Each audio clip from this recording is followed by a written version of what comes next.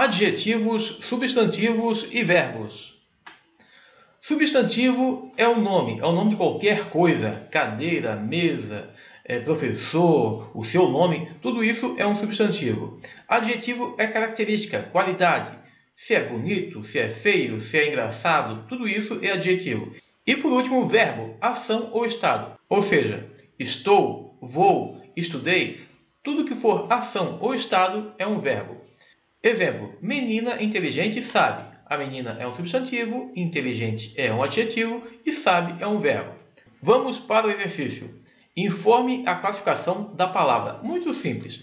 É você olhar a palavra aqui, por exemplo, jogar, e definir se ela é um substantivo, se é um verbo ou se é um adjetivo, certo? Lembrando, substantivo, nome, adjetivo, característica e verbo, ação. Então, jogar é uma ação, então seria verbo.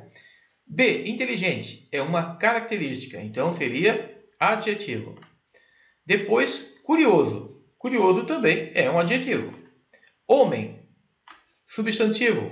Pensar, mais uma vez uma ação, verbo. Andando, mais uma vez uma ação, então verbo.